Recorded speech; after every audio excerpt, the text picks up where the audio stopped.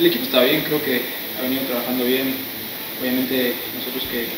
recién nos venimos incorporando después del, del de selección, pues venimos trabajando bien, el grupo eh, está bien y, bueno, esta situación yo ya la conozco, eh, no es cómo se empieza, sino cómo se termina, ¿no? Los últimos dos torneos hemos terminado pues, bien llegando a las finales, nos falta ese, ese extra, ¿no? Para, para poder conseguir lo que tanto queremos, pero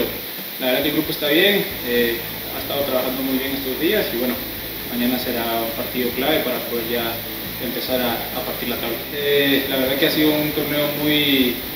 muy parejo, todos los equipos se armaron bien, la tabla está muy, muy reñida, ganas uno, te vas al primero, perdés, te vas abajo, entonces creo que mañana va a ser un partido clave para nosotros poder sumar eh, y hacernos fuertes en casa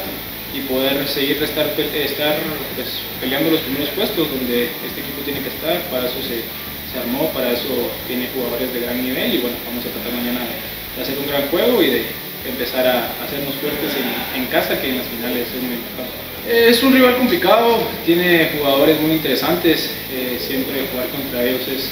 son partidos muy, mucho de roce, eh, por el tipo de jugadores que tienen, pero bueno, vamos a tratar, como lo dijo el profe Dwight, de hacer nuestro, nuestro juego en casa, nuestra ideología y, y tratar de, de empezar a, como repito, hacernos base de primero hacer un buen juego el día de mañana contra Cobán, después tenemos un partido la verdad que muy complicado contra Malacatán y, y bueno,